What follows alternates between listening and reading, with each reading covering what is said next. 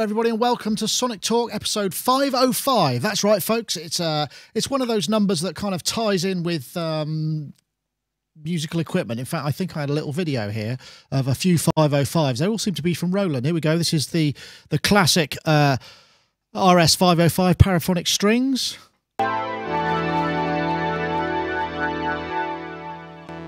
With the without the ensemble sounds really really not very good at all. So we'll we'll skip that one. And we've also got uh, the TR 505, which is the uh, the uh, hasn't got any visuals. This is by Synthmania. That classic sort of semi-Linn style. Oh, there it is. That's not a 505. So anyway, yeah, those are my 505 references.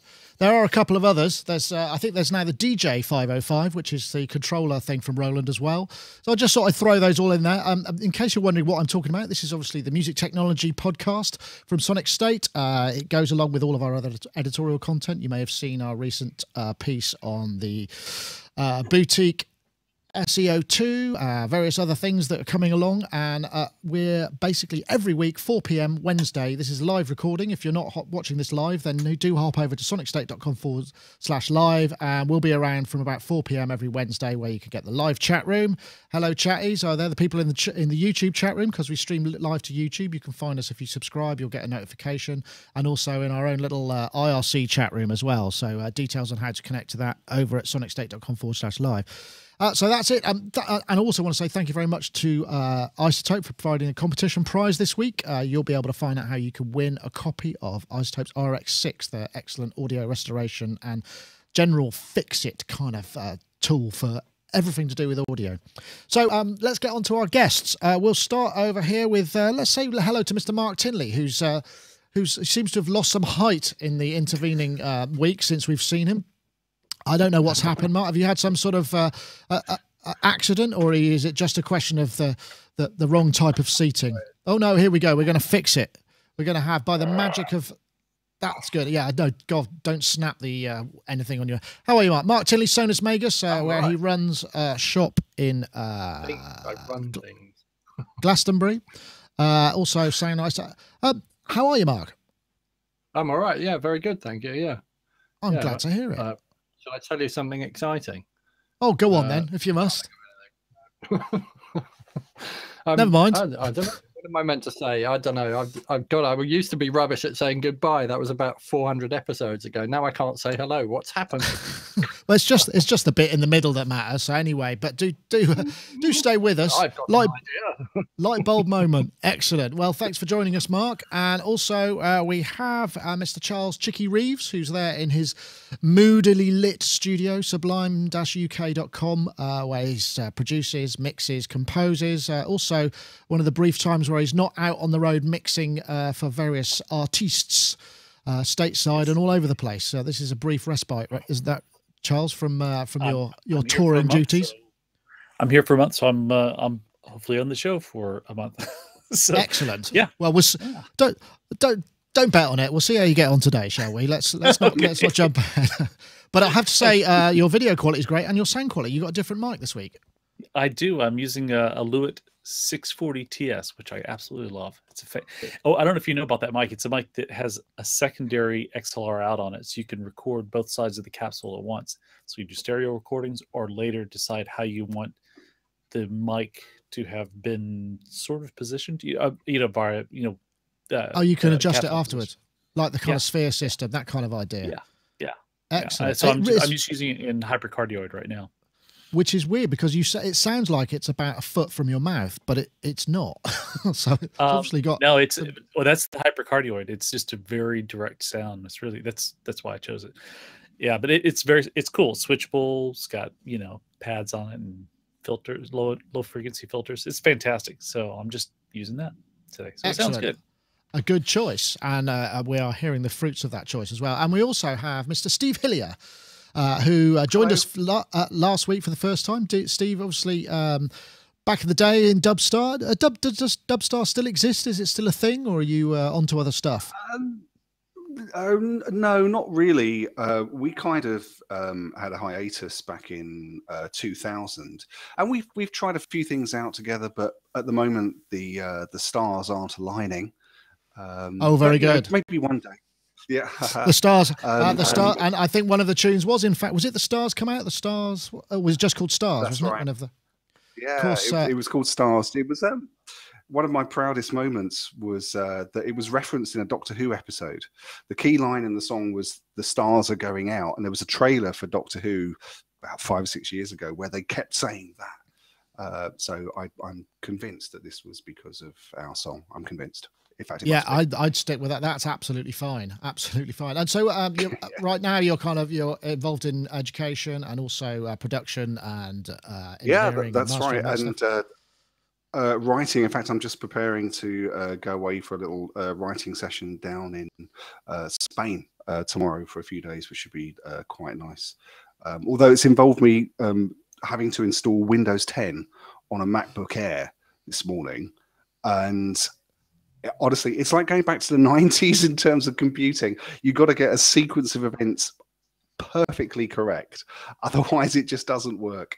And, uh, and in the end, you've got Windows. So, you know, was it worth it? I don't know. Uh, well, I don't know. Windows. In fact, this this whole switching system runs on a Mac Pro with uh, Windows 10 on it, and it's uh, we usually most of our systems run Windows 7, um, but this is this was Windows 10. I just thought I'll get the latest OS so I don't have to. But I, I've just got I've got a couple of boot camps. Unfortunately, when you do the boot screen, it just says Windows, Windows, Windows, and it's like, well, which one's which? And there's no way of renaming those disks. So it's like, yeah, it's the third one along. Don't forget that we'll boot into that one. But anyway, yeah Right. that's kind of uh, that's kind of how it works. Anyway, Steve, thank you very much for joining us. Um, uh, sounds like it's going to be fun. Uh, you're chasing the weather, I guess, because it's pretty crap here. That's for sure.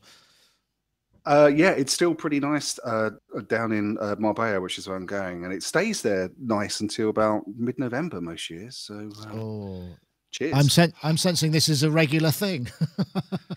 uh, yeah, yeah, it is.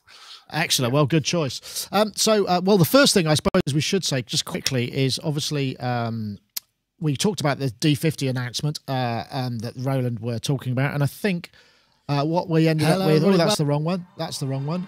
Uh, it was the D05. I won't, we won't spend too much time on it. It was just because we talked about the D50 a lot last week, but here it is. Yes, it is in fact synthesizer because it used uh, the samples D05 and, Boutique, uh, which is uh, essentially exact all the sort of uh, bits of the together. D50, but in a much smaller package, and it's still programmable. and All those things. This, this is Legowelt. And this sounds like the orb to me. a digital synthesizer uh, also has that very uh, pure mellow tone. Anyway, It's a very warm. I won't play the whole thing, but yeah, three four nine, and it's another boutique. And for all of my kind of yeah, whatever, there's something about when you see it, you just go, oh, that's quite cute actually. And I, I don't know whether or not uh, it's something I actually do want. I don't think I really do, but I just it's it's the sort of thing that if you've already got a boutique, you sort of think, well, it would look quite nice next to the others. uh, Steve, have you uh, have, have you changed your your your thoughts about this? You thinking, well, you know, maybe it could be useful, right? Stick in your bag, take it for the writing week. Well, I'm I'm definitely uh, the, uh, a fan of boutiques, and um, you know it's like top trumps, isn't it? You've got to collect them all. Um, the it it sounds great. It looks nice, although to be honest, I haven't seen one in the flesh, so to speak. But there was one thing that just struck me that this disappointed me a little bit, which is that there was an opportunity here to improve on the user interface to make programming the D50 easier, and they didn't take it. Now, I, I Hmm. appreciate that there's not a lot of space on the boutique you know, uh, form factor. I've got one just here.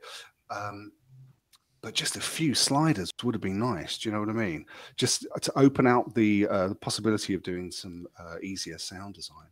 Mm, well, maybe they're going to bring out a boutique PG one thousand. There's a thought, eh? So you can have a companion for it, Okay. which actually does nothing apart from be a MIDI controller. That'd be pretty awesome. Really. Hey, Mark. I, sorry, Steve. You were just about to. Well, I was just going to say, somebody i- i- in terms of the, the sound of the thing, um, it sounds to be identical to the original, which which makes sense because it was always digital. Um, and if you, you know, there's a lot of people who are fans of that sort of chiffy late 80s sound, of which I would include myself. So yeah, I think so. I think so. I think it's going in my gig bag. Ah, okay. Well, I, I must admit, uh, the AB stuff I heard, it just sounded just a little bit more high fidelity to me. Just a, the, the reverb was a little richer and wider. So, that, you know, maybe it's just they're taking advantage of that extra DSP just to flesh it out. But I don't know, Mark, I can't imagine the D50 is a sort of uh, something you'd reach for if you were looking for a classic uh, 80s instrument, right? Um, what? How many more times are they going to release the D50 in another format? Oh, well, well I think we got at least one more after this. You think? Uh, well, Full size It was keys. in the watch. D50 watch, Roland's D50 watch. I mean, I just, I don't know. I really just want them to do new things, and I just get, I guess I'm getting a bit bored of things, kind of going round and round, and then oh, let's just put the same technology in another thing. So the last time the D50 came out in another format, it was on a PCMCIA card, I think, which could plug into the back of a VSynth and then you could reboot your vsynth and turn it into a d50 which i thought oh yeah that's a good idea but um i don't, I don't know i want to hear new things new sounds Well, new that's things. that's fair enough. I wonder if I they just made a I wonder if they made a, a, a, load of those DSP cards, and what they've actually done is just figured out a way to put it inside a boutique box. i think they So a warehouse full of them. i reckon they spend astronomical amounts of money on r&d and then they have to recover the cost of it um so they're forever churning out things with a d at the beginning because we had the d10 the d20 the d i don't know it went on d110 and D70. Yeah, and so that D70. Oh, that was different technology though, wasn't it? But um, And, uh, and the DJ70, Uh, that let's not forget. I don't know. You know that whole idea of taking PCM sample and then uh, and then having an attack portion and a release portion. I mean, that sampling has come on so far since then that take the same like engine or idea and then build something with like really high quality samples that works in the same way but can utilize like a much bigger memory bank and then you might have something that would interest me. Same That's with the filters. like, you know use more dsp on the filters. And i don't know uh, uh, roland reverb in any shape or form doesn't tickle my ears i'm afraid. I always just switch it off and then put something nice on afterwards. So there's not i don't think there's one any one of their algorithms. I've got the v guitar thing and i just reach for that button that switches it off every time. So uh, even the plate or the spring just don't do it for me but i don't know personal choice. I think i'm nothing wrong with it. It just doesn't seem to fit my music or uh, or the way that i hear things Well, that's fair enough. Anyway, 349, and uh, some wag in the comments said, yeah, that's bizarre because I just bought a, an actual D50 in a fly case for 200 bucks just the other well there day. you go Yeah, That's the, kinda funny. the one thing about having. Oh, sorry. Uh, Should I talk? Charles, Yeah, go, Charles. Okay, yeah. yes. I, I was just going to say, you know, the the with the what Roland is doing, you know, we're sort of in danger of of uh, retro catching up with the present. Um, Meta, meta. yeah, exactly. But I mean, I, I, the D50 is uh, it's it is cool sounding and everything. And it, it, I, if they made a programmer for it, though, it'd probably be about the size of a of an iPhone, and it would have like you know 50 sliders on it. They're about this long each. Um, but uh, but I, I I I I mean, this would be kind of cool to have. I I agree with what Mark is saying about like their reverbs and stuff. Like I when I mix Howard, I use uh, Howard Jones. I do a um, we we do it on a Roland console, and I carry outboard reverbs because I prefer the sound of those. I, I carry a Bricasti with me because it just sounds amazing, you know. Um, but all the all the internal reverbs, I was I'm just not a big fan of the reverbs, but I do I love I love their synth ideas. You know, it would be nice if they came out with something just like really, like Mark said, just something new, something groundbreaking. And they, the closest thing I've seen is that SE02 so far. You know, that's at least that's a step in the right direction. Yeah, I think I got you there, but I, I know it wasn't on the topic list, but I felt we had to because it did happen in the week between uh, this and the previous show. So, um, uh, oh, I should also point out I'm uh, I'm sipping from the uh, the Sonic State merch, uh, which is the Sonic State mug. Uh, you can buy T-shirts and stuff with this, and with the classic logo. There you go. That's the uh, 11 ounce mug in sort of purplish color. Uh, just head over to Sonic State. There's links to the merch place if you fancy something like this. Then uh, go ahead. That's my plug over and with. I don't want to don't want to over egg it. Uh, what's our first video then? Ah, yes. This is the new Spire uh, system from iZotope. Funnily enough, they're getting into hardware and they've made this kind of um, hardware recorder that connects over Wi-Fi to, I'm guessing, just iOS devices at the time for the time being, and allows you just to record. There's an auto gain system, and then you can arrange, you can multi-track, and then spit them over to somebody else to collaborate, and then process and mix as well.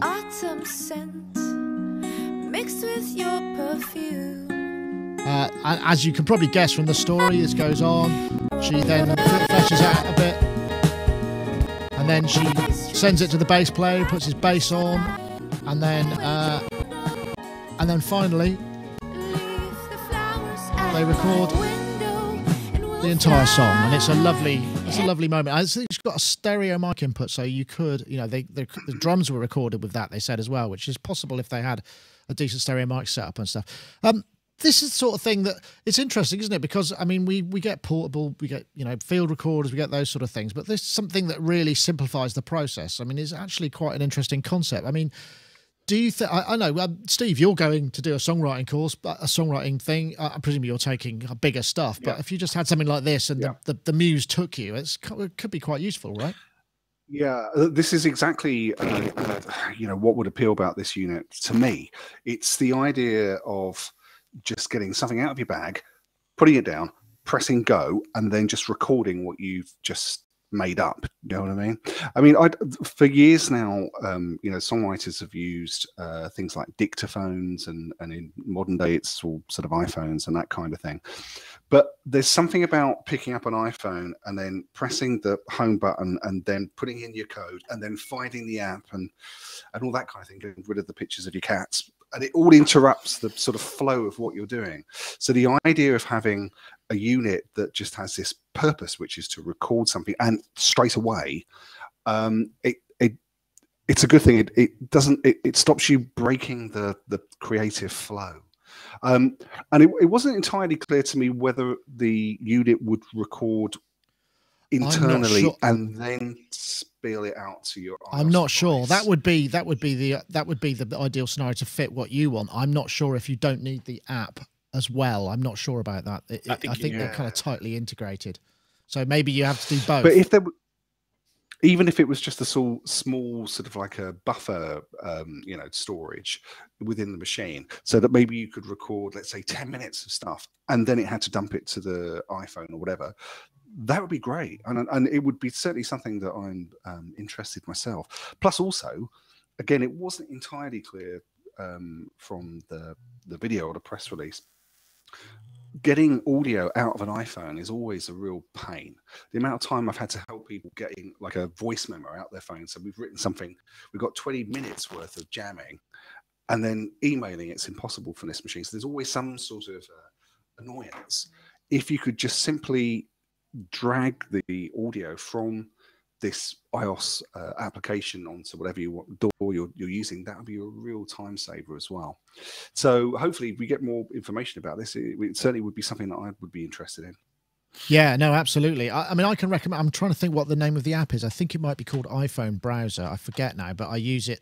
Um, uh, it just opens it up like a drive, and you can pull it all in and grab, you know, storage for various different programs. And it, it I mean, it's quite expensive, like forty bucks, but it, it stops all of that nonsense. And Mark, I'm guessing, you know, I mean, you use your iPhone for on-the-go creati- creativity. I mean, or have done. I mean, is this the sort of thing that you could stick in the corner of the shop, and when you're tinkering with one of your uh, bizarre instruments, you go, "Oh, I'll just grab that." I do. I need something for recording bizarre human conversations in the shop. Definitely.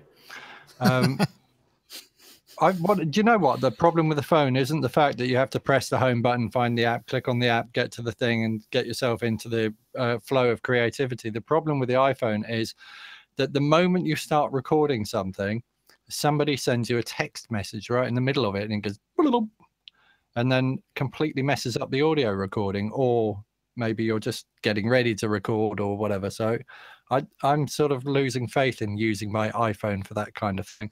Although when I do, I use a program called Audio Share, uh, and I can send things to iCloud, and then I just drag them out of iCloud and pull them into my digital audio workstation. So that works really well because Audio Share allows you to record as well.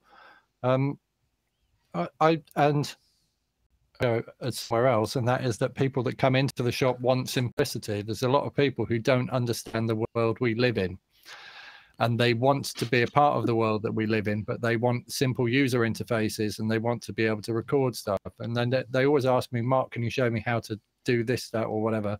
And as soon as I start showing them, they go, "Oh my god, oh my god, it's so complicated. I could never do that. How can you do that? Why are you so clever?" And I go, "It's really not that complicated. I've just been doing it for a while." But they want instant, simple access to music technology, like high quality recordings that they can then perhaps take to someone like one of us and then uh, put into something like Pro Tools or Logic or whatever, and then kind of continue from there. So if it can do that, if it's simple enough that uh, God, I was going to say something really bad. Yeah. If it's simple enough that a dog can use it, uh, then uh, and can plop his paw on there and sing his song into it, and then uh, share it with his audio engineer, then it would be a really good thing indeed. I think. Yeah, But, I um, think I think I think I would. Sorry, Mark. I think I would agree i- with that. iPhone Yeah, The, i- I the try- iPhone bit could still be a problem. You could still get texts from people right in the middle of your recording, couldn't you? So yeah. Well, maybe the thing is, is with an app like that, when you're using it, you just it's got a mode where you just go while I'm recording, just turn all my notifications off. Just just get rid of everything. But I expect it would need too many You'd hope. permissions. You'd they hope, don't all have that. They don't, do they? Yeah. Charles, I, I mean, when you're on the road, uh, presumably you have your laptop and stuff, so you know you might have a d- bit of downtime in the hotel room, and you might be w- having to work on stuff. I mean, what about when you're uh, when you're not even that prepared? I mean, do you just mumble into your iPhone, or how do you do it? Yeah, most of the time it's it's uh it's into the iPhone or I have um the Adderall, the stereo recorder. but um yeah, I don't do that much. Like I, I I've never had an experience even carrying good mics and stuff like that. I've never never had an experience where something I've done on the road has been the quality that I really want. It's mainly just to get an idea down. Uh, I mean, this is sort of this will sort of bridge the gap, and it, if if this works the way they're describing it in the in the video, and it's that easy, then then great. But um, I've I've never experienced anything that's even remotely. I mean, I have the like the the iConnect Audio for whatever it is, the the one that plugs into my iPad and stuff, Yeah. which is great because then you don't get notifications because you can go offline. But uh, even that, it's it's it, as as great as that is, it's still not that simple. And you know, there's there's nothing that ever seems to be simple. But to address something earlier you were saying is um, about like how do you take the files off? Most programs these days, luckily, will interface with Dropbox, and so I just just stick stuff on Dropbox, and then it shows up on every one of my devices. So it's very very easy. Yeah, I can that- easily share files. That does make sense because I mean I don't know about you, but I, the thing I have a problem I have with iCloud is we've got a bunch of different devices here, and all it does is nag me and say you need to upgrade. You know, it's like I don't want to store my entire backup of my uh, iPhone in the cloud necessarily or whatever it is. I don't use an iPhone, but you know we've got iPhones for certain purposes. So Mhm. you know it means that you then got to kind of buy the extra stuff, and it's always a bit you know I just want whereas Dropbox you get two gigs, and you, you know if you keep it clean and you don't really kind of use it a lot, you just use it for transfer. Then you've got that option with iCloud. You can, but it's a lot more fiddly to to to to granularize that storage. I think that's the problem you get. Agreed. Uh, yeah, Agreed. uh, I think as I said, it was uh, what was it? Three. Uh, it was about um, oh, let me see, th- three hundred forty nine bucks. I think the thing's going to go for. Uh, I thought I had a picture of it here somewhere, but it looks like I I haven't. think it has so- a couple of Grace design preamps, which are really good. Oh, yes, that's that's no the great the Grace preamps. That's definitely. Uh, let me have a look. I must have it. I, I think I should. She's sitting in a put- park recording, though, isn't she? So if she's sitting in a park, there's going to be like people walking past, people on bicycles, pushchairs with children, aeroplanes going overhead. None of the stuff that people who aren't audio engineers will think about. So anybody who's not an audio engineer will look at that and go, "Ooh, I want to have one of those. I want to buy one of those." Um, but their recordings are going to be full of nonsense, aren't they? All the stuff, Well, the background RX, stuff. as we know, RX does have uh, a lot of. Uh, uh, there, that's what it looks like. It's like it's kind of puck type thing. It's kind of a bit like an Amazon uh, uh, Lexa or that sort of stuff, I suppose. Yeah. which I'm well, that'd be clever. large. could do that as well. Has it got RX technology built into it? Is that what you're saying? I don't know if it does. It has. It has. It ha- Oh, blackbird! I'll tell. I'll remove we'll, we'll remove that for you. That's possible. Old it's lady possible. with a rocking stick. Oh, just oh, uh, that's gone. I mean, I know it can do it, but Ice cream van. wouldn't yeah. that be? Yeah, that would be awesome. Uh, so, I mean, anything that enables people to, to do stuff is great, and there seems to be uh, quite a bit of a buzz about about it. So you know, we wish them every uh, every success. And uh, oh yeah, here we go. This is what the back looks like. So you got a pair of uh, combi jacks there. Okay, Yeah. that's interesting. I mean, and they, I guess it's they got back. invariably come out with great stuff. So I, I, I can't see why this won't be a hit. It looks a little bit large from from the video, like it's kind of because she's trying to put it in a bag. It's like, you know, it's like I can understand they made it a bit flatter and wider, but instead they made it kind of tall. And uh, but you know, it, it, I mean, those preamps alone will will be worth the money. I think. You know, those, those Like will Grace sound great, preamps, yeah. They should do. Uh, well, bizarrely enough, we're probably just kicking with our uh, iZotope ad because that was just a feature about their side stuff. So let's have a word uh, because iZotope, as we know, are oh, that's the wrong that's the wrong ad. Here we go. iZotope, of course, uh, are providing the prize for our um, Sonic Talk podcast, and it's RX6, uh, which is up for grabs this week. And this is the music production bundle, and it allows you to clean up audio in so many different ways. You can declip, denoise, spectral DS, uh, uh, spectral repair, uh, de-hum, de-click, uh, de-mouth noise, de-breath. I mean, there's so many different ways that it can be used uh, to repair any audio. And this is again, you know, if you do, if you have got that issue with your Spire recording and it's a bit noisy for whatever reason, this should be able to deal with it quite easily. So we heartily recommend if you're into audio at all and you regularly need to kind of either edit or do stuff to it to kind of get it into shape. RX6 is one of those invaluable tools that really does help. And uh, as we say, iZotope are sponsoring the show with a prize of RX6. If you want to check it out for yourself, izotope.com forward slash RX6 is where you need to go. And we have uh, a winner from last week uh, who's someone called Tweety Babs. Uh, Tweety uh, tweet Y B A B Z, uh, and they said worst worst nightmares vanish in thin air like they were never there when you use RX6 for vocal repairs, and it rhymes as well. I'm, I'm guessing there might be a lyricist or something. So, uh, Tweety Babs, if you want to get in touch, excuse me, then uh, we will be able to furnish you with a copy of RX6. Uh, thank you very much to iZotope for their sponsor of the show. And of course, we've got another competition this week.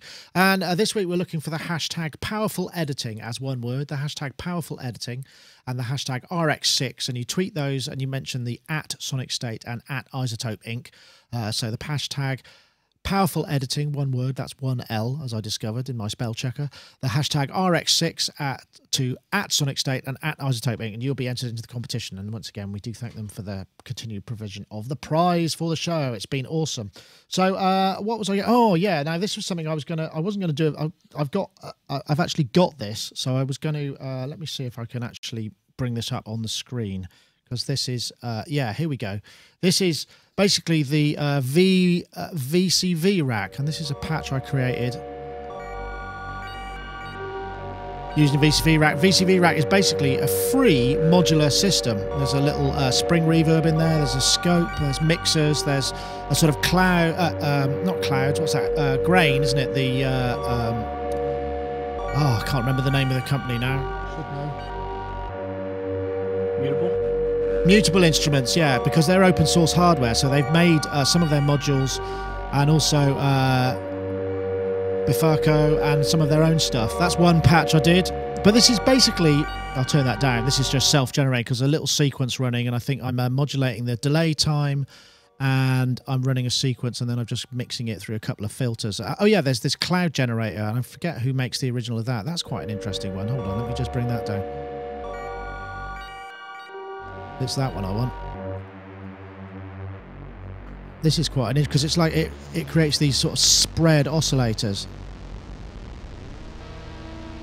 up into chords. Oh yeah, those are that.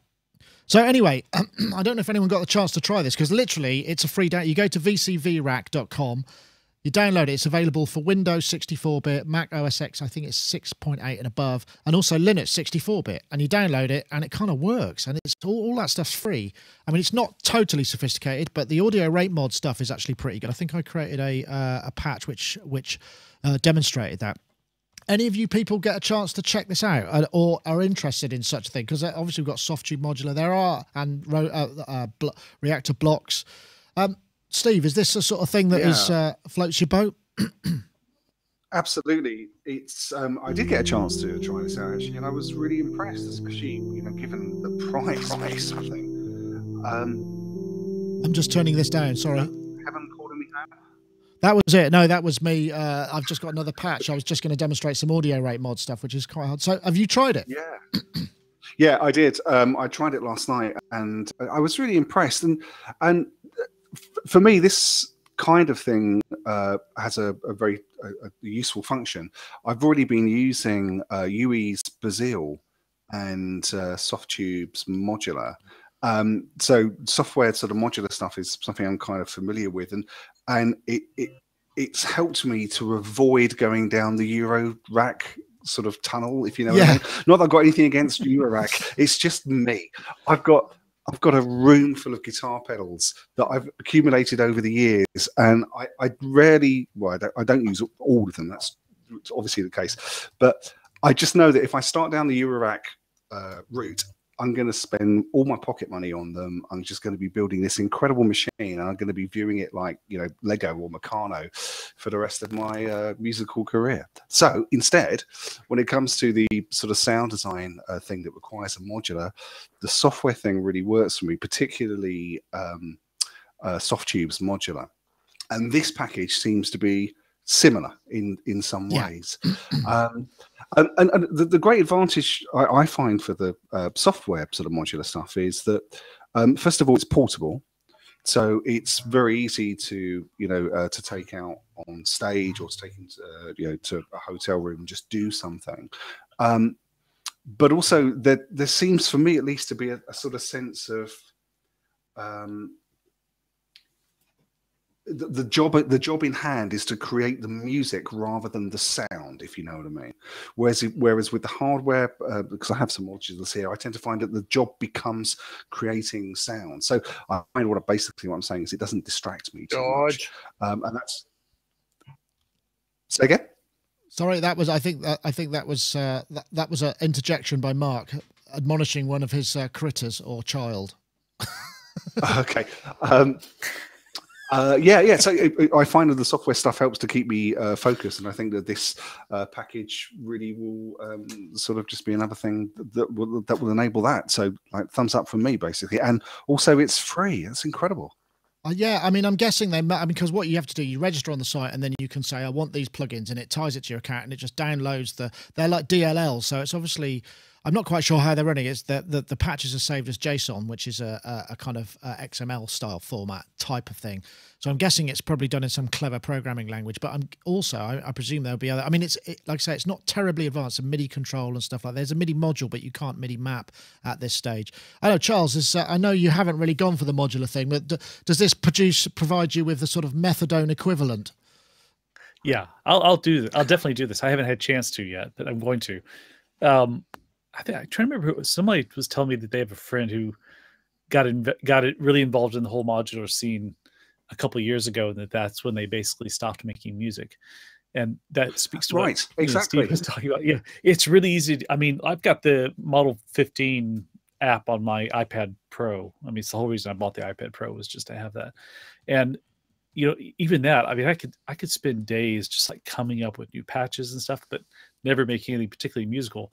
But I like the idea of, of this because it just doesn't seem like it's that. I mean, obviously it's free, but time wise, the investment wouldn't be that heavy, and you can just make some cool sounds you can just stick in to something that's already musical instead of relying on that to be musical. If I were if I were to spend my my money buying hardware, I would be constantly trying to make that thing into something that is musical. That it's that's like the You would try to just to justify the money amount of money you spent. I, I take your point. Yeah. Uh, I've got another patch here where I can before I get to you, Mark, which is just a simple sequence. I just wanted to demonstrate that's just audio rate mod of the filter, so you can get this kind of you know that classic yaw. Well, it's not quite yaw. I think I haven't quite got the filter uh, the frequency right, but basically it will the audio mod seems pretty decent on it from what I can tell. Mark, you could run it on a Linux system. How about that? Could be exciting. Got a spare So, week or so to set it up. so does it run on Android then? No, uh, I don't think it does. I mean, the other thing I should point out, it's only standalone at the moment, but they unveiled it at Knobcon, and it actually um, they're bringing out a VST slash AU wrapper or bridge for it, so it will run in other things. But then I don't know because at the moment it's just standalone, which you know for some people is going to be difficult because you, you know you have to save and recall It- a bunch it- of different things. I mean, it looks kind of cool. I love things like this, and you can just where you can just start chaining stuff together. And I haven't. I just uh, had a very very brief look at it. The thing I want to know is whether I can see when I had the the, the Nord modular. I used to try connecting everything to everything it wasn't supposed to be connected to, just to see what would happen. So I want to know if I can connect. Um, I think it's things like clock sources and stuff. If you can plug them into the audio, if you can put audio through frequency, because they work like frequency dividers, then don't they? Start chopping audio up into smaller chunks and doing all sorts of weird things. So I I haven't haven't looked to see if you've got clock sources or or that kind of thing, and whether or not they can do that, because that's always good fun. Yeah, It's I, I, I think Where, plug it where it's not meant to go and see what happens. Because Yeah, you can't break it. Software, isn't it? no, it? you And can't. I mean, you can't. You can't plug an in to an in or an out to an out. But yeah, that so that that is entirely possible. One thing I, this this brought up an interesting thing. I was having a discussion uh, recently about somebody uh, about this the whole concept of making uh, recallable modular systems as part of this because ultimately, you know, this is this is one of the difficulties that we have. You know, you invest the hardware; it's very hard to get. And I and I. I, I know you know people have thought of all these kind of different ways of storing MIDI CV and uh, you know uh, CV values and what have you. And I, I came up with the thought: what would happen if you just made all of the knobs digitally controlled? So they would just spit out CV that's MIDI CC. So then you could just basically record or take a snapshot of every module you make, and then just I don't know how much it would add to the cost of something if you're going from analog pots to So you can you can get computer controlled um, digital potentiometer chips for the Arduino, and they're not expensive. I mean, they're not very much more in cost. I mean, I don't know about trade price, but retail price of a digitally controlled volume chip is not much more than the cost of a potentiometer. So that means you Hmm. can use an Arduino to control any parameter, and you replace the pot in your electronics with the chip, and it it acts as a virtual pot, but then you have digital control over it. So tip so uh, you can take like a guitar pedal, pull the knob off, uh, Yeah, and know, then- whack and one of these chips in there, piggyback an Arduino on the back of it, and use the Arduino to program all sorts of weird stuff. So you can uh, animate anything that you have on your guitar knobs or anything else that has a pot on it. Um, so Isn't, uh, theoretically, it- you could do it. Charles, I was Charles. going to say, isn't isn't the idea of like trying, you know, the recallable modular thing? Isn't that sort of what the idea behind the matrix fruit is? Because that's Kind of. it just do- does all the patching. It's all digitally controlled and you know using MIDI CC and and then all the patching is just done via this this matrix system instead of cables. But uh, one thing I wanted to add, I don't know if we, I don't think we mentioned it, is that with this system that they I they I think they have like an interface coming out, but you can use like uh, the MOTU Traveler, anything that supports DC coupling. You can so you can interface it with other modular things. Oh, yeah, yeah, um, uh, let me just- and the hardware. If I It's just bring this over here, uh, I'll just uh, let me just. Uh, there is a way I can quickly show. I just bring the interface back up again, and I'll drop it on a, a desktop. I've just recently found what the key I'll command just is. sit here and look pretty. The uh, you uh, the audio device has eight inputs and eight outputs. So yeah, you could if you had an expert sleepers or or something that supported the inputs. Yes, you could use that to bring in CVs as well. So yeah, you're absolutely right. So I mean, they built that in from the ground up. Another neat one is uh, you can see how much the C- each each module is using in terms of CPU, which is kind of neat. I mean, if you like that sort of thing. Anyway, I'll quit that because it's it's going to make my computer probably work a bit too hard. But yeah, uh, after I, I um I, um, uh, John P. Shea, I think, who, who spotted that and sent it over, and I just thought that is actually really cool, uh, and it is really cool. Uh, uh, there have been quite a lot of people saying, "Hold on, it's not working on my whatever it is," but uh, so I'm working it with uh, ten point 12.6 and it seemed to work just fine straight out of the box and the, you can change audio devices on the fly. In fact you might actually be able to run multiple audio devices at the same time. So I, for instance in that those patches i was routing it to soundflower because soundflower is part of what captures the desktop and- on, on the system that i'm using here. So you know it's actually it's in some ways it's more flexible than uh, than than you might think. So yeah do check it You know out. what? Actually, you've just said something really interesting because Soundflower is a way of routing things between different audio interfaces on your device, right? If you can drag several audio devices into this and then patch them, Soundflower thought. is like you have to think Soundflower through quite carefully, otherwise you start creating loops and things. And when it gets complicated, um, you can, uh, can you save the patches in Soundflower? I don't think you can, can you? So you have No, to set it up when you want to use it, and then if you want to use it a different way, you have to set it up differently. You could use this as a virtual pa- uh, uh, patching unit for your uh, all For your audio cards That's and an you could create idea. cable links between things and then you save the patch. The next time you think oh i want that audio interface to be feeding this one and i want to have this coming in here and blah blah blah blah blah you just load the patch up and it's all set up for you. Now because that, i know we can do that and we can do that with individual audio interfaces and whatever software comes with them but if this can interact and integrate different between and integrate different things. Oh and you can whack filters in between things in the audio world coming in through a filter back out through another audio interface. Look so at that. using it Yes, as a modular I can I, I can confirm I can confirm actually I won't show that but I've just dragged another audio interface into it and made it a different device. So yeah that might work. I think you're going to So end up with a certain amount of latency. you haven't tried patching between patching between there'll be a little bit of latency yeah yeah I would think so. That's an interesting idea. That's a very interesting idea. Good good thought Mark. But there's latency in soundflower anyway isn't there? Uh, yeah You've there the is actually. latency. you have to set the latency in SoundFlower. I, I think i might have to experiment with this later actually. Yeah try that. That's a good idea. Hmm lateral thinking. it's there a- you go. there's a It said it was um, really good fun when I got it out. I, I must admit I hadn't uh, thought of what Mark was suggesting now. I think it's an amazing idea.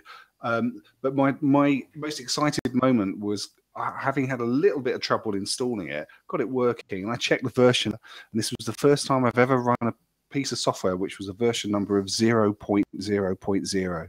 I felt like that was an important moment. Yeah, well, you realize you have to hang on to that one, Steve, because uh, that one obviously will be highly collectible in ten or fifteen Can I jump centuries. back a whole topic? Actually, I noticed that the uh, the iZotope Spire thing. When I looked at their website, the it's not ready for release yet, is it? But they're already No. on version two of the software. Did you notice? Well, no, the the spot the software has been available on the phone for a while. The the new thing oh, is has that it? it Oh, right, attaches okay. to the audio interface. Yeah, that's why. Yeah, so that makes sense. Oh, right, okay. Um, right, I know. Uh, oh, actually, let's do uh, let's do a plug for our stuff as well. Obviously, Wave Junction, our Max for Live synth, uh, which is a two oscillator. Uh, Max for Live synthesizer runs in Ableton Live. You do need Ableton Live. Uh, we're running a 10% discount code at the moment, WJ Talk 17. If you head over to uh, Sonic State and click on the Wave Junction link, you can uh, enter that when you uh, decide to purchase, which I'm sure you'd be dying to. But remember, you do need Ableton Live and Max for Live. It's got three multi-mode filters. It's also got uh, five LFOs and five envelopes and a 12 slot modulation matrix. So quite a lot of stuff you could do. There's also a wavetable uh, um, slot for each of the oscillators, and uh, we're coming out with a, a, a wavetable editor quite soon, which is going to be a free update to this. So uh, it might be something that you want to check out.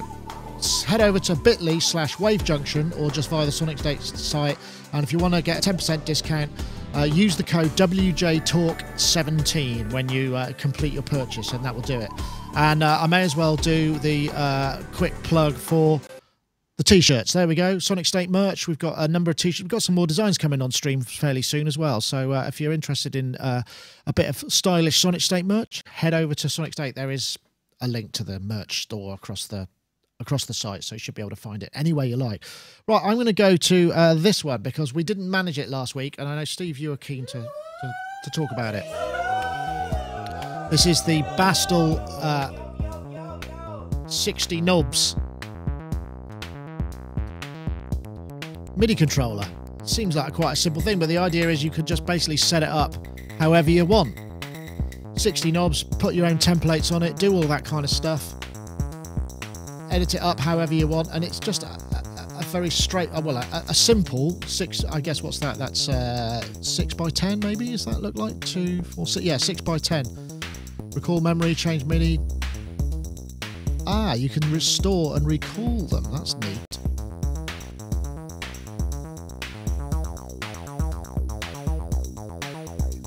Ah, right. They can be NRPNs. It looks like is that SysEx as well? Did I see SysEx in there?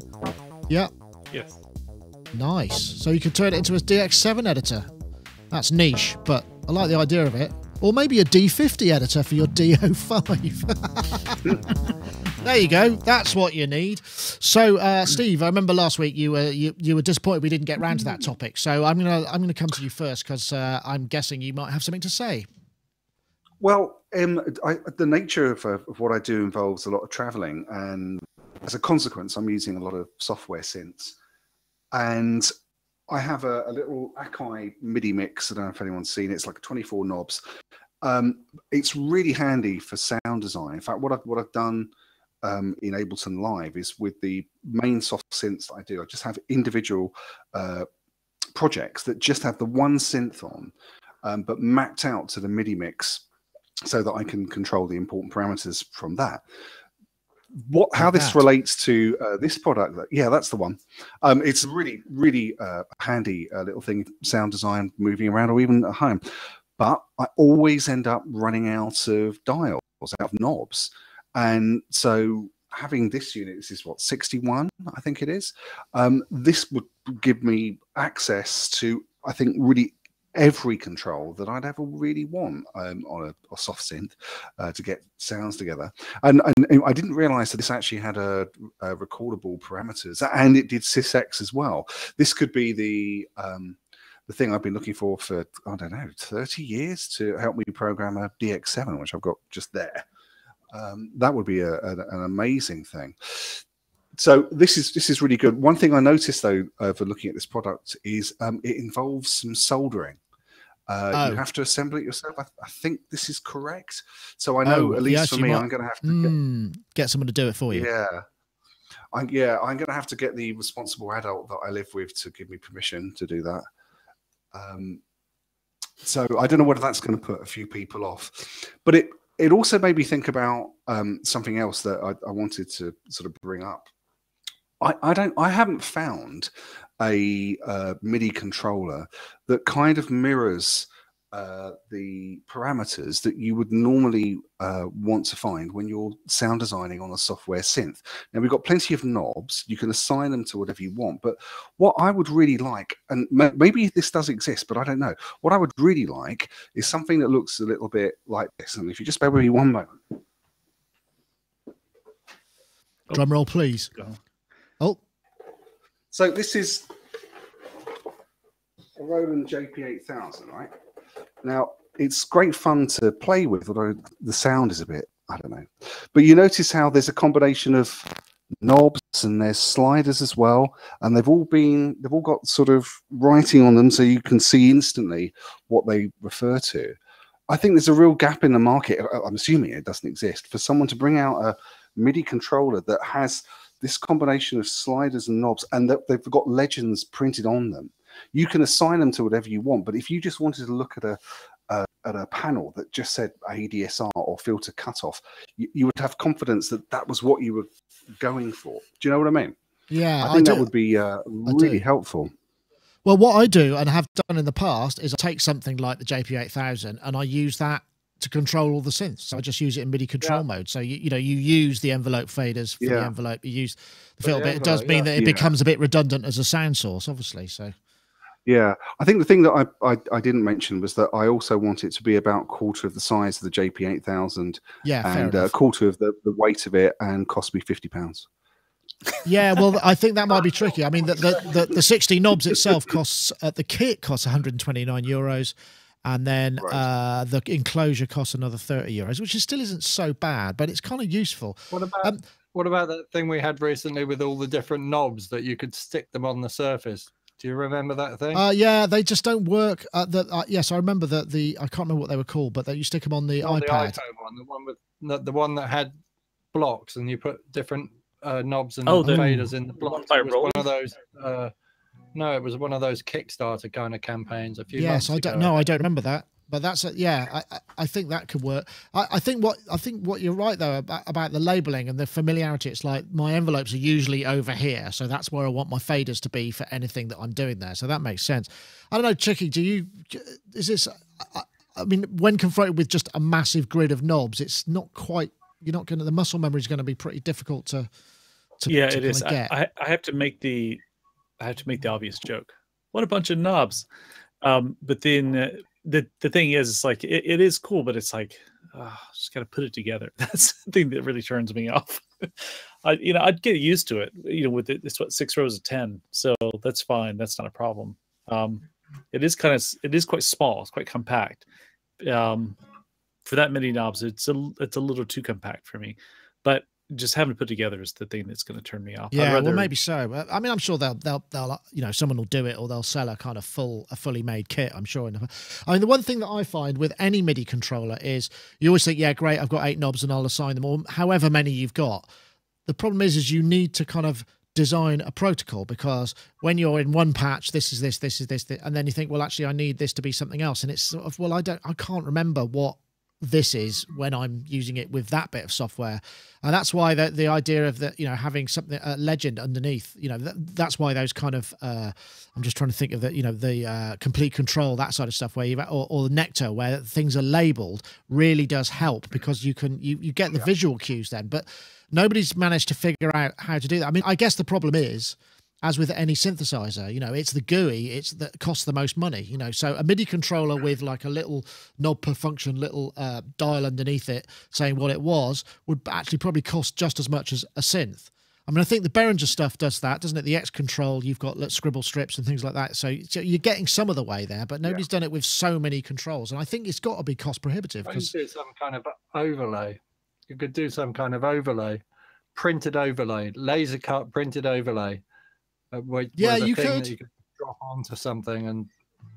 Um, But then you've got to remember to flip it over. And if it's like, oh, I just need to flip over, I'm just going for that track. I need to tweak it. Oh, where's my overlay? Take the old one off. But you know, it doesn't, it doesn't have the same. Whereas you know, if you're going to the track and the track knows what it is, I mean, I think that's probably the beginnings of that kind of uh, the the Native Instruments uh, NKS system where it the the plugin and the the wrapper and the controller all talk to each other. So if you're labeled, then you know what they're going to be, and that all the sets of macros. But then you're limited. You know, no matter you usually get eight macros, don't you? But you always need more, which is I think what you're talking about, Steve. Really, I mean, eight is just not enough because it might be enough to kind of do the filter, but I mean, you know, there are other Yeah. parameters that one might want to tweak from time to time.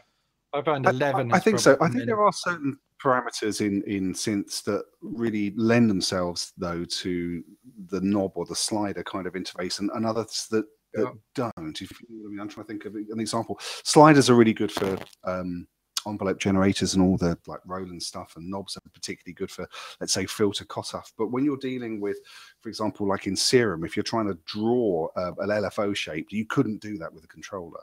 And there's other bits and pieces like that. Maybe um, that I can't think of right now. My mind's gone blank. But uh, Yeah, yeah, to yeah, everything. sure. Yeah, no, definitely.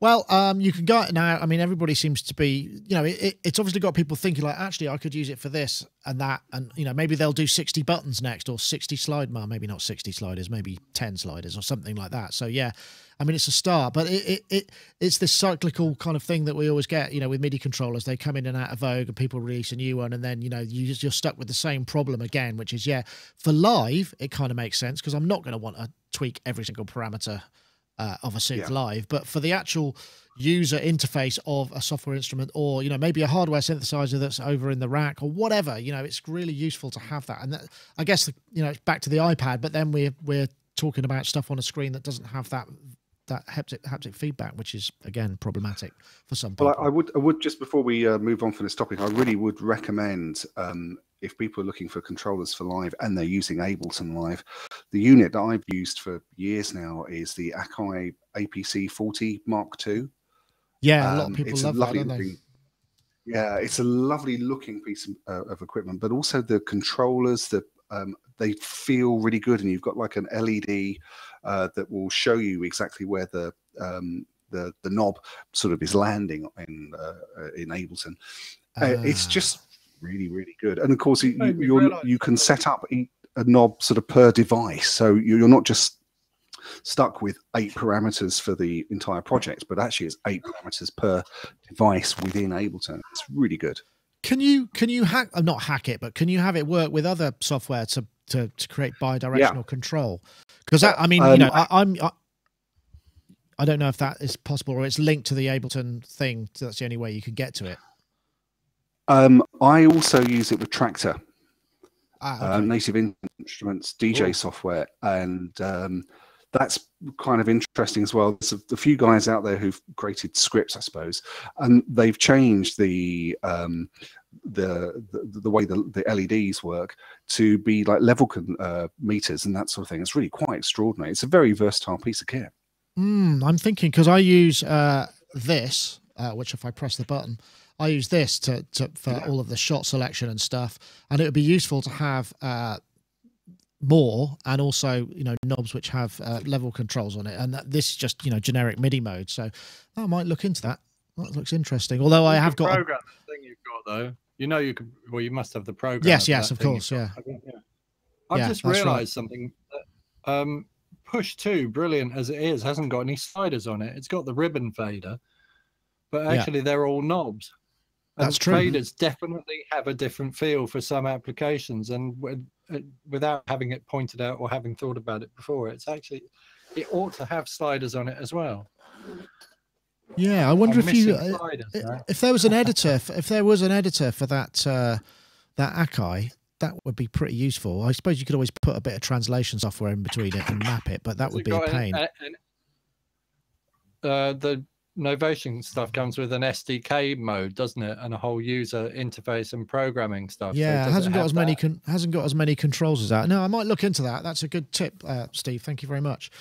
Okay, um, I, w- I wanted to quickly do this one because this is uh, this is something I discovered. I, I can't remember why I ended up here, but uh, I found I found this thing called. Uh, no, what's it called? It's called Battle of the Beatmakers, and they have these events where they just get producers to show up with three MP3s, 45 seconds long, Just once, I want somebody to be like Eminem. And it's tails. You want to go first? Ready? It's tails. You want to go Ah, here we go. Of course not. Okay. I don't even know why I asked. So uh, these are two guys. This is Like Eminem. Be like, Mark Major and Natty Bangs, and they're gonna. Uh, Ready? 45 seconds, B. so they get to play. But what's weird about it, they they stand there on the stage and kind of nod, and the audience react, and the and the judges judge it. And they get to play it on a massive PA. This happens in Canada every year.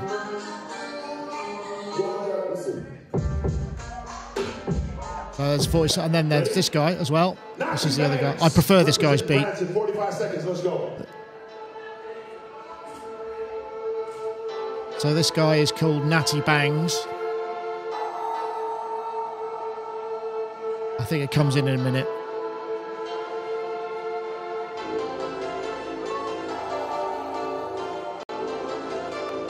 We'll just wait for the beat to drop and then I'll switch it off. I think it's coming up just now.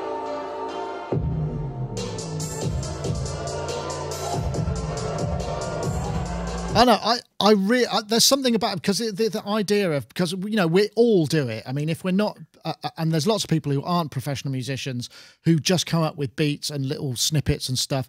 And the idea of having this kind of playoff to see which beat is the best, and it fits very much into the kind of uh, the jam notion of the hip hop beat, where it's like someone will create a beat and then it will turn into a track, and it fits that whole culture. And I just thought, what a, what a fantastic idea! They're doing, they're taking uh, uh, uh, stuff for th- for this year as well. Uh, but at the same time, you know, the the idea also when you're kind of you're playing here's what I've done to whoever it is in the studio. It's kind of one of those awkward moments, isn't it? It's the bit where you don't know what to do with yourself, and then you're going to go, "Oh, oh no, I, I I meant to turn that down," or whatever it is. And doing that in front of several thousand people just seems like a really weird idea, but a great idea as well. I, th- I think we should have more of this across more genres. What do you reckon? Yeah, I think it'd be really cool. I, I, I you know, like whenever I play like new beats for people, I always excuse myself and go to the loo while they listen to it because I just don't want to be standing there going, Yeah. you know. So I wouldn't be able to do that in front of an audience, though. I'd go, "Here's my beat. I'm going to the loo. Be back in 45 seconds." maybe you should be a judge instead. You could be a judge instead yeah, of that. Exactly. It's a neat idea. I don't yeah. know. Um, yeah. Mark, Mark, do you suffer from the same thing when you kind of go, I finished it, and somebody says, "Oh, let's have a listen," and then you you sort of don't want to be there? But I mean, this this sort of thing is, works could work quite well. I'm, I'm getting better at it actually. I have realised that I absolutely hate my voice, hate the sound of my own voice. I've spent years and years trying to discuss, not spoken voice. I can listen to myself talk for hours, of course. So can we, Mark. So can we. things- If I if I if I sing with my Bowie voice or my whatever voice, I've realised I've just been trying to disguise my voice for years. If I just sound like me when I hear it back, it's just like, oh god, that doesn't sound right. So that makes me cringe if I'm playing people stuff with me singing in my regular singing voice. I haven't pretended to be someone else. Um, but I'm getting better at playing people things because I'm becoming uh, I'm becoming more arrogant and much less concerned about what other people think about my music. Which, had I been like that when I was 20 years old, I suppose that I would have had a slightly different career. But um, yeah, it is a weird thing, though, isn't it? Did you used to go to A and R men and then and you you hand them the cassette and they put it in? I've done that once or opinion twice. Becomes horribly important, or That's became really excruciating. When I was younger, and I wish I just Excruciating. stuck to my guns and done what I thought was right all along. Um, but yeah, it is horrible. And then they Yeah, spin it forward 30 seconds and they press play again for about five seconds and they kind of chuck the cassette back at you. And it's just like, oh, Oh, that's well, a painful bassline's a bit pedestrian, mate. And you're thinking, pedestrian, oh. pedestrian, bassline's pedestrian. What the hell does that mean? I mean, what do you mean? It's a walking Yeah. bassline. That's awful. I, I, I don't know, Well, Steve. I What do you meant think? Good, walking, I- good um, idea. Um, yeah, yeah, kind of. I, I just picking up on something that Mark said there about being in A and R meetings.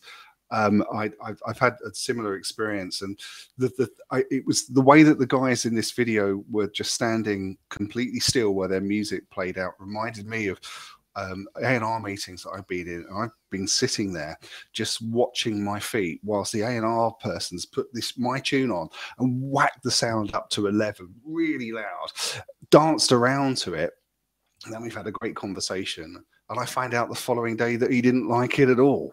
So, What? you know, that's A&R people. But, yeah.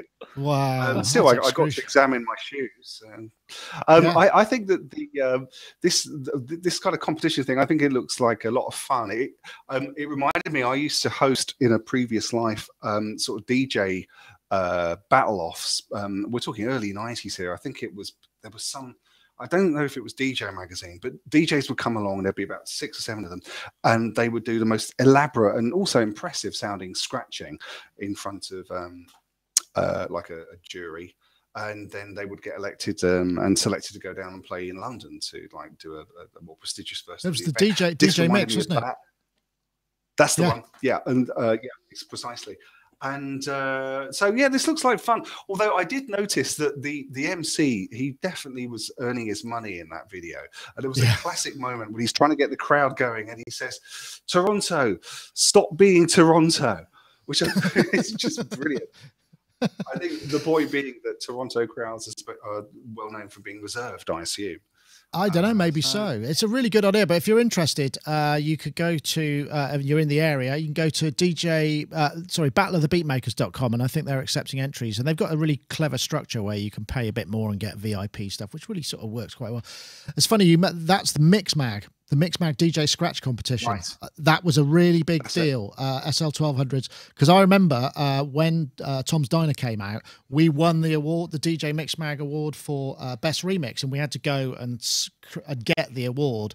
But while we were there, we saw all these guys just really just doing some amazing kind of DJ work, scratch this like scratch stuff. It was really awesome. And some of them Yeah. are just I forget the names of them, but they were just amazing. You may well have been at one of those.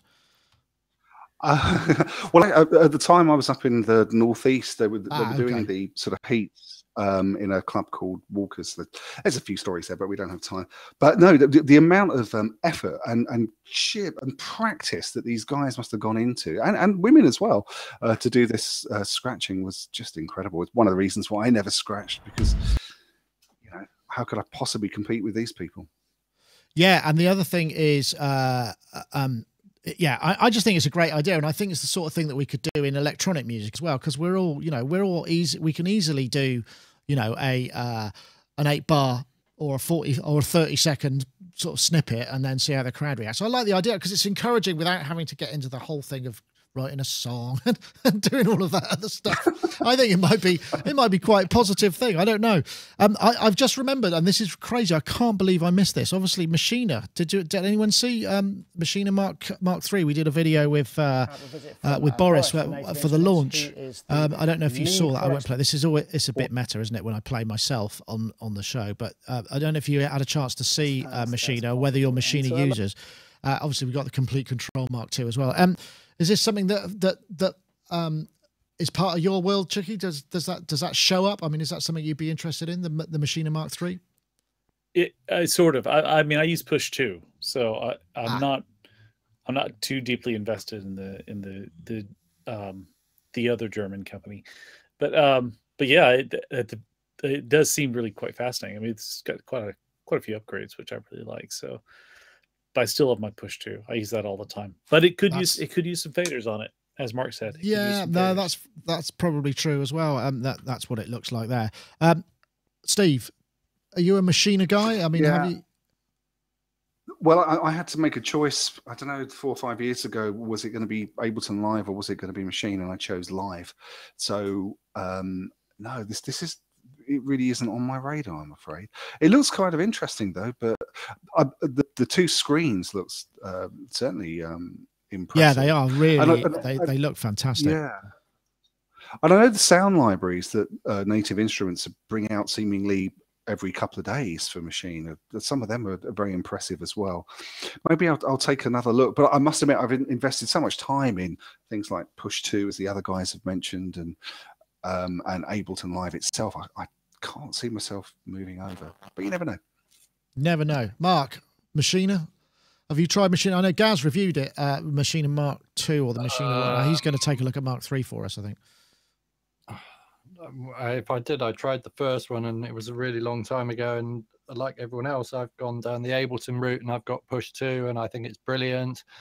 And uh, kind of, I didn't, I don't know. I just, I see, I've moved, aw- I've moved away from very linear world of Logic, which I never really liked anyway, and sort of got forced into with Pro Tools and Logic and uh, things that work like tape because the people I wanted, the people I worked with wanted to work like tape and I've gone back to doing things in chunks. So I like small chunk thinking. So I like the thinking of Ableton and being able to throw things at it and make loads of loops up and then develop songs out of those kind of ideas. And I'm sure this can do much the same thing and it's probably brilliant, but I'm in a world that I'm happy with at the moment. So, Yeah, no, that's Um, fair enough. That's fair enough. uh, oh God, I was going to say I was getting too old. I'm not getting too old at all, am I? Well, it's time, isn't it? It's time.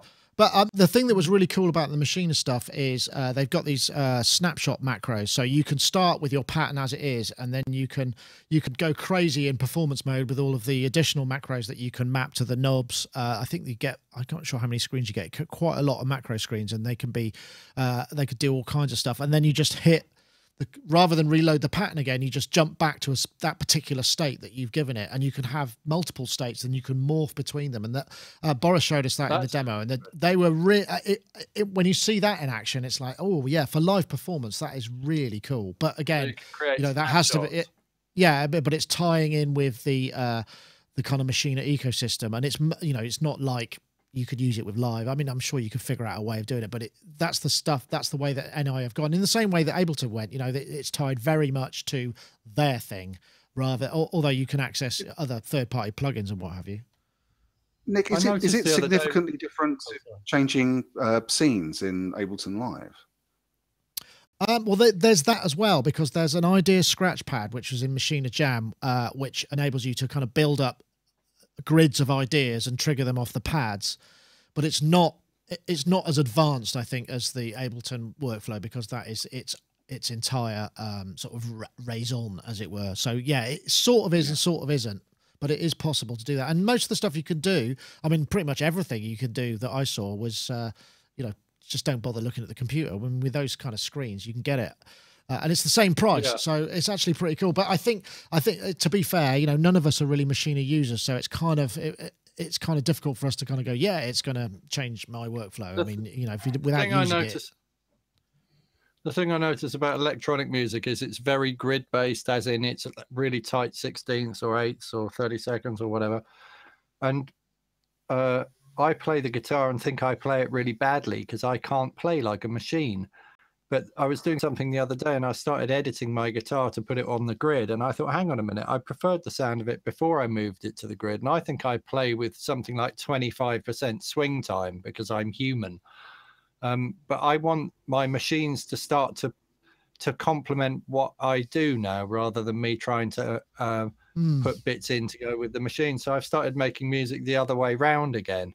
Whereas uh, uh, before I was sort of like using machines to try and perfect my music. Now I want the machines to be as human as I am, if that makes sense. So Yeah, I I think that that- does. all these I think young people out there.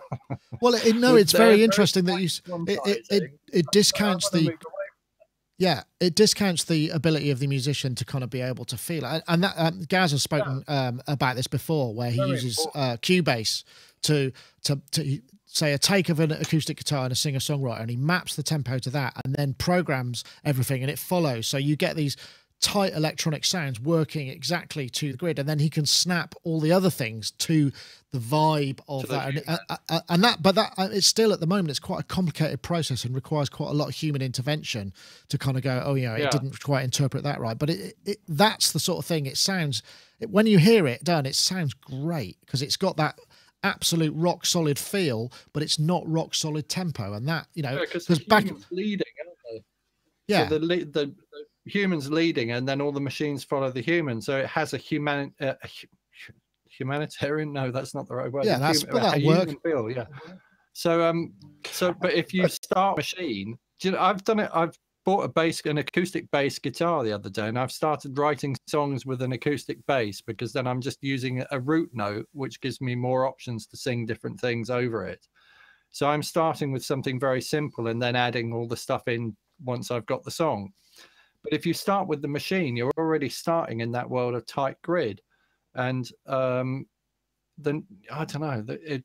You know, Well, then- then you've- but then you've got to do- much more interesting. yeah I agree. Sorry, Steve, you wanted to come in there. Um, well, I was just going to say that I, I, this sounds like um, what we're describing here, the, the perfect place for where AI will be useful in music, Yeah, that's a good where the where- rhythmic interpretation. learn very quickly what's coming in. Yeah, and would interpret where this um, grid would, uh, you know, appear, so that you've got um, a, a- very quick way of, of getting the, the machines to cooperate with the human beings. I think, and also that doesn't sound like something that would be too difficult to program. Um, I No, I- say it could, getting uh, here with complete ignorance, but you know, No, Well, I think you're Melodyne right. 'cause sort if, you- if you, Galvanic, galvanic. yeah, Sorry. sorry, Charles. I was going to say Melodyne. Melodyne will do that where you can put a song in and it can Yeah. pick out even if there's no drum track, it can pick out the actual grid of the song. Yeah, I think that's I part want- of Gaz's workflow. So he creates the tempo map, brings that into Cubase, and then and then everything I runs off same, yeah. that. And it, you know, but it's still quite a kind of almost quite a long-winded, specialized skill I think I- process. You have to figure it out. I've got the answer to it, and that is that you create a film with some like really quite uh, gripping emotional scenes in it, and you connect somebody to a galvanic galvanic skin response thing uh, to see how they respond to different things while they're playing a piece set piece of music. And then at the end of it, you know, the bloody, gory scenes will create some kind of emotive response in the human, and and they'll change the way they're playing because they've just seen, I don't know, uh, Whatever, something. Whatever. Yeah, uh, we could have a, a bloody gory scene, a very very happy scene with a golden retriever. George could star in that. Uh, we could have a scene with um, uh, lots of sex. We need some of that, and then a scene where somebody gets lots of money. So you could map all of those emotions out, and you could have different grids for those different things, and then, you know, the the person could uh, then kind of uh, preempt what the machine was going to do by kind of And thinking, oh, I'll just right. think about, oh, yeah. Uh, sounds like something you need to write a letter to Google for to, to get them to. But yeah, I'm you're going to write absolutely right. Roland. I'm going to say, please stop making those little beautifully engineered and very uh, nice looking future door stops, which you'll forget to write software drivers for in seven years' time. Is it about? Sorry. Uh, maybe they've stopped doing that, and of course they'll support them for the next 20 years or make them Who knows? compliant, which hopefully they have, but who knows? But yeah, and please go and develop this new beautiful AI interface. Now, there's an idea. That's it. and what a lovely way to end. Um, Steve, that was a great idea. I think you're right about the idea for AI because I think that that sort of stuff would humanize things to a great, and also, you know, it would it would reward people who can play in an emotionally pleasing yet uh, technically imperfect imperfect fashion, which is kind of after all the, Yeah. the nature of music, right? Yeah. Yeah. What Yeah, a great I- way to I, do, end. I like the idea of um, yeah, indeed. artificial uh, intelligence Mm-hmm. helping us to cooperate. I think people have this idea that artificial intelligence will just automate processes you know, and take the human humanity out. But actually, well, I hope that doesn't happen. You know, not in these. Well, you want to? I want to have a car that drives me around as badly as my mum does. Actually, that could be interesting. You know, like they- well, there's the thing: a, a, a- an automatic car that models other people driving. That would be Wow, amazing. that's Yeah, an that interesting thought. Great. Wow. Okay. Well, I, I think I think we're stretching a little. I think we're stre- uh, this this. It's been a great Oh, show, and uh, we're we're heading off in another direction, which probably we haven't got time for now. But I want to say thank you very much to everybody for joining us. It's been uh, much fun as ever. Uh, thank you everybody in the chat room, in YouTube chat room, and also in uh, IRC chat for joining us. I'm sorry I was a bit distracted because the conversation was so scintillating. I didn't I didn't refer to you all that much, but uh, we do appreciate you coming. It adds an extra fristle knowing there's actually somebody out there kind of watching what we do when we do it live. So once again, thank you very much to everybody for joining us. Uh, and don't forget, um, as I said, if you want to. Uh, uh, enter the competition for to win iZotope RX6. What you got to do is tweet the hashtag Powerful Editing and the hashtag RX6 to at Sonic State and at iZotope Inc. Uh, and that will enter for the competition uh, next week. Uh, that's it for this time. Uh, Steve, thank you very much for joining us. Have a lovely songwriting trip. I hope you you write some beautiful, sunny, happy, happy stuff, or at least you can dredge out those sort of that's all- emotions that don't tie in with that to, to to make them dark and interesting. You know, must be hard when the weather's good. I'll work it out. Excellent. Thanks. Well, lovely having you, Steve. It's been a pleasure. Uh, SteveHillier.net, Yes. check out his stuff. Uh, also, uh, Charles Chicky Reeves, thank you very much for joining us too. Uh, and um, Glad to be here. enjoy some of your time out um, and uh, Not touring. Not touring. Yeah. yes. Yeah. Big Did you tell me you just uh, bought? Did you just tell me you'd bought something new? I've I've, I've got. Oh, this, yeah. Did you get that in the show? Could you? Do you want to Uh, just tell us quick? Go on. What what was it?